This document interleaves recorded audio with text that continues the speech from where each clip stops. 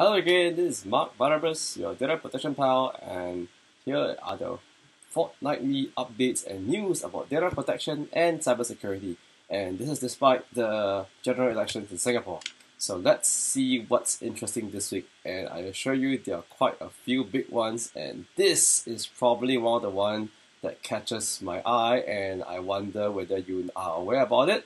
Uh, not sure if you know about this app called TikTok. If you don't, probably your kids do. It's one of the more well liked and popular uh, video sharing app that has uh, been owned and bought by China by ByteDance recently. And there are some engineers that have taken this app apart and figured that there were some privacy issues with the Apple users. And in fact, in India, they actually even uh, wanted to remove TikTok from the App Store. I wonder what's going to happen in Singapore and other parts of the world. But well, TikTok is now responding, and we'll see in the upcoming weeks as to how this develops. But whatever apps you're using, be very careful uh, of the privacy uh, concerns regards to how the app is collecting and even sending out your data. So other news.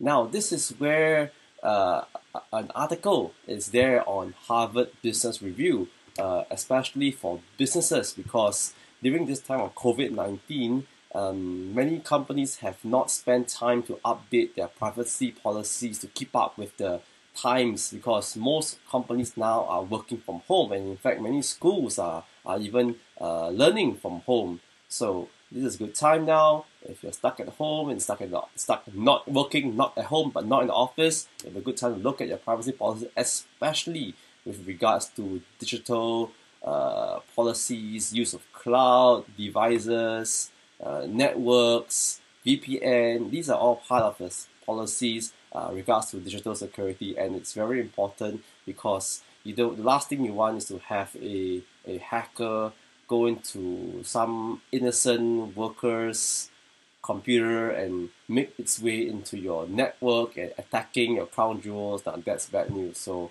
companies do be, be very careful and you must want to look in this right now. And back home in Singapore um, another major data leak where more than 3,000 people had their data, oh, more than 3,000 Singaporeans had their data leaked online. And apparently this is related to some Bitcoin scam. In fact, I think I received the, a message as well with regards to this. And maybe my data has been leaked as well. I don't know and I hope not. But whatever case, this is a lesson to all people. Be very careful how you give or what data you give to companies, even online. And uh, guilty as charged. I gave out a lot of data online and just got to be very careful the emails you receive, the messages if you receive, whether it's text, WhatsApp, Viber, or even uh, WeChat. Be very careful what you click because it could be a malicious site, it could be a, a, a person doing phishing, and I am no stranger to phishing calls. In fact, I had a recording of an entire phishing call, which I will post one day. I, I will, I will.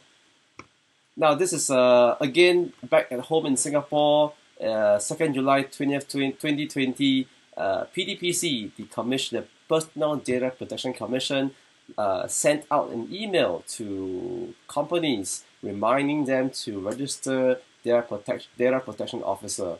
Now, uh, if you didn't already know, if you go to acra.gov.sg, acra.gov.sg, the site that gives about uh, that you do company reporting, AGMs. You when you search for any company data, you will find information about any company, including your company. And previously, people would search for ACRA website to find out details of the company, whether they've done the AGM, whether they've done their financial declaration. Now, from April onwards, we have noticed a new line on the ACRA website. Don't believe me? Go check it out now.